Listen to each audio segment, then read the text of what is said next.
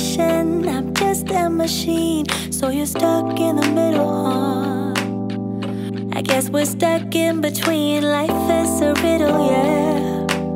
And I don't know what it means, nah.